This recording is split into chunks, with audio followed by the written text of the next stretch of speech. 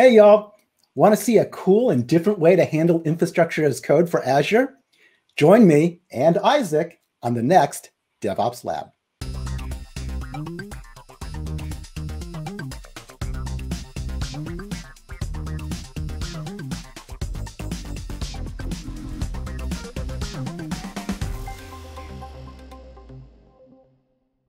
Welcome to the DevOps Lab. Infrastructure as code is one of the most important and underutilized aspects of DevOps.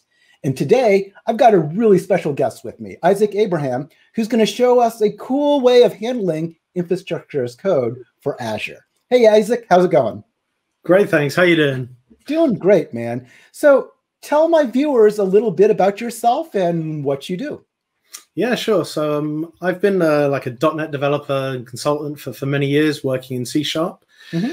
Um, been working in, in, F Sharp for like the last five or six years as well on .NET. Mm-hmm. Um, I'm a .NET MVP, um, and I'm the founder of Compositional IT. So we're a company that do basically Azure and, and F Sharp solutions um, for, for various customers. So how did you get into this whole infrastructure, infrastructure as code thing?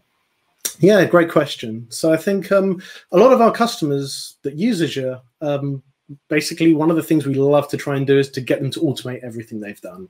Mm-hmm. Uh, we know that you know the best way to get repeatable projects going saves so much time and, and, and money. Um, but obviously, for the most customers we saw were doing continuous builds, continuous integration, but they weren't doing too much on the continuous infrastructure side of things. Um, so that sort of inevitably led us to looking at ARM templates, and um, we realized really quickly that's like way more efficient than than going into the portal and clicking every time. And and you know sometimes you get it wrong, and then you need a test environment, and you need to do it all again. So that was really the the kind of genesis for when we started getting into infrastructure as code, I guess. Very cool. So, so tell us a little bit about this farmer project that you're doing. Yeah, sure. So, um, on the one hand, when we started using ARM templates, we realized, you know, there are so many great things you can do with it. You know, you get this repeatable deployments, you can source control it, it's idempotent, um, you can audit it, there's visual tooling, super great stuff. Um, the thing we weren't, we thought there was room for improvement was the actual point of getting to that template where everything is set up nicely, everything is configured. That took a long time. So what we really wanted to try and do was keep the, the bit on the side, which is the deployment story, but make it easy as possible to get to that point where we've got a template with all our resources in. Um, I guess one way of thinking of it is Farmer, the goal was like, we want to make it as easy for you to create resources in code as you do in the portal. So okay. that the next time you want to create something, you don't have that excuse of, oh, I can't be bothered to do it in ARM or it's going to take too long, but it will actually force you down the right route of doing things the right way, helping you do the right thing. So let me see if I understand this correctly. Is Farmer basically a project where now I can describe my infrastructure instead of using ARM templates? I can use some type of coding format, and then this gets compiled down to an ARM template later that I can use in my pipeline? Exactly right. So we didn't want to force you to give away all of that, you know, infrastructure you may already have, or that um, process you may have. We just wanted to make it easy to get on the on the ship, if you will, to get onto the ARM ship and, and get up and running quickly. Okay, so as a dev, uh, this sounds really exciting to me. I'd love to see this. Yeah, sure. Let's do it. So, okay. um, so I've got a, a, VS Code instance on the right uh, on my screen here. Um, okay. Now we could do this theoretically in any um, any .NET IDE because Farmer is actually just a .NET library. Oh, so cool. we could do this in Visual Studio. We could use Rider. It's not something that's specific to um, to, to the VS Code. Indeed, you could do this in Notepad if you really wanted to. But um, all I'm going to do is, is start by creating a .NET application. Mm-hmm. I'm going to say .NET new console. And the only thing that's a bit different is we have to put this lang F sharp on the right because Farmer is an F sharp uh, library. But aside from that, it's a .NET um, project, so so nothing so different there. Okay. Um, I'm just going to go and remove all of the, the sort of hello world code you get. And I'm then going to add the farmer package. So I'm going to say .NET add package farmer. And now we've basically got the, the NuGet package, we're, we're good to go.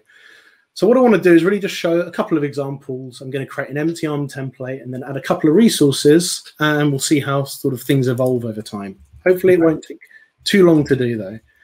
So what I'm going to do is start this into the, the .NET watch run cycle, which is basically every time I make a change to the code and hit save, it's going to rerun the program and give me a new ARM template. Cool.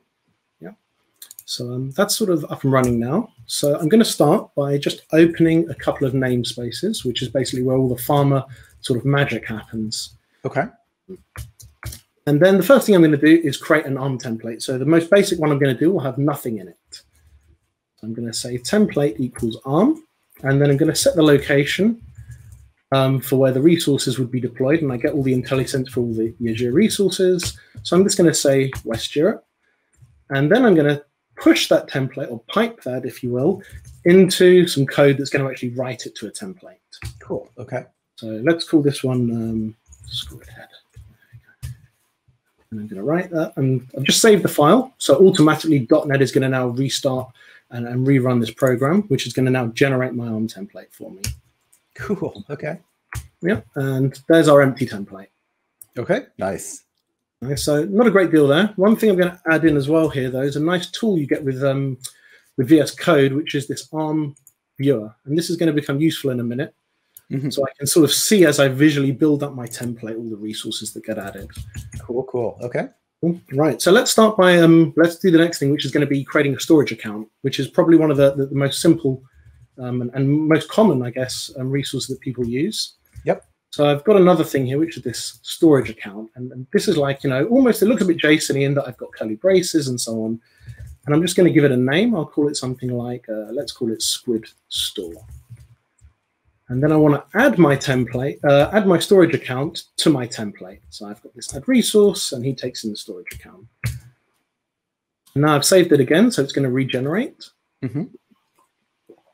And should very shortly have our storage account. Nice. Okay. Yeah. And cool. yeah. And so there we go. And you can see it's done some defaults for us. Like it's picked the same location as where I've set the resource group, and it's set like the, the SKU by default. But of course, I could change that if I wanted to. So I could say storage.sku, and then I would get all the IntelliSense for all the different SKUs that I could have and so on. Very cool. Cool. So um, let's do a couple more things. I want to add um, a container, like a storage um, container, and a queue as well. Mm -hmm. So in Farmer, this is actually really simple. I can just say I want to add a container, which I'll call data, and let's add a queue, which I'll call messages. And then I just have to save that and Farmer will basically create the resources for those two sort of things and tie them up to the storage account as well for me.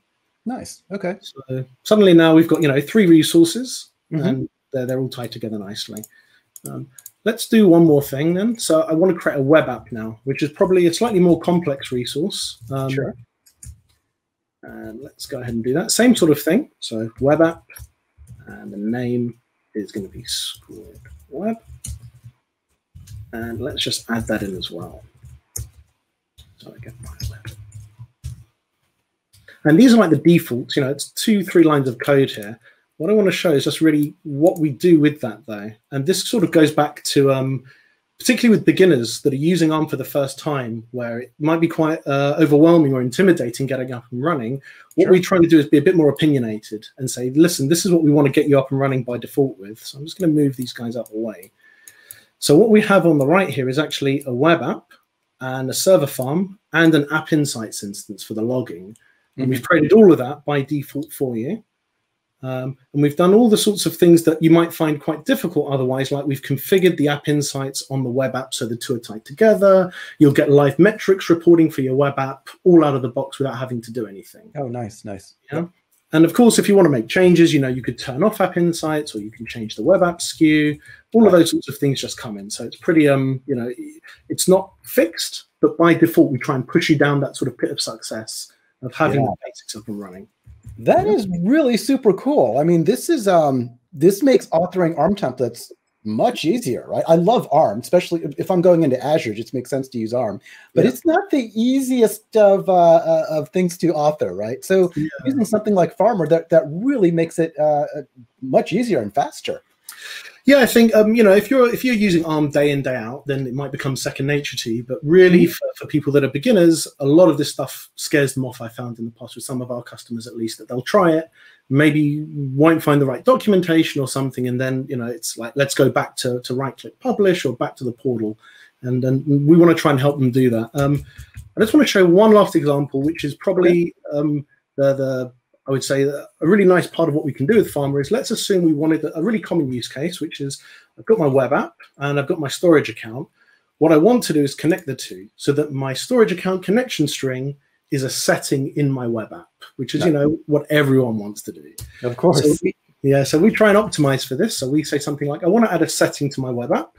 Let's call it something like connection string.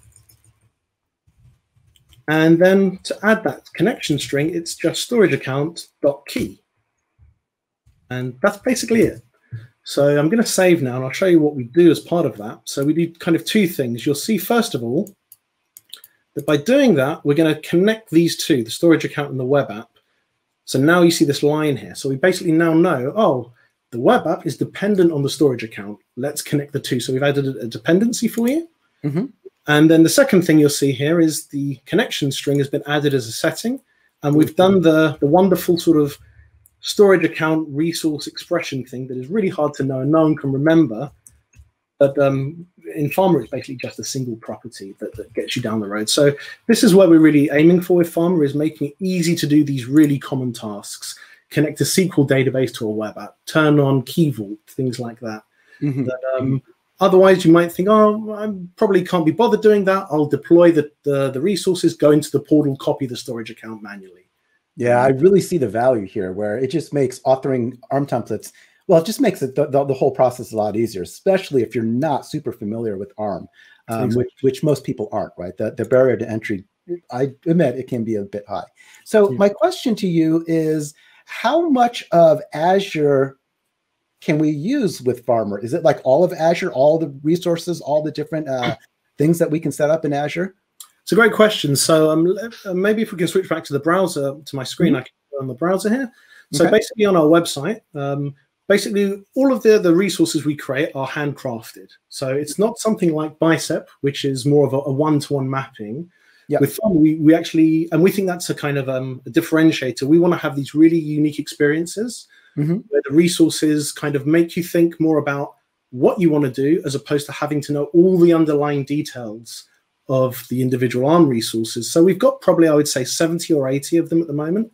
Mm-hmm. And we've got certainly all the common ones. So we've got like SQL Azure, virtual machines, um, Cosmos DB, uh, Event Grid, Service Bus. You know, I would say that the 80% of the cases that you'll need, maybe even 90, 95 you'll have.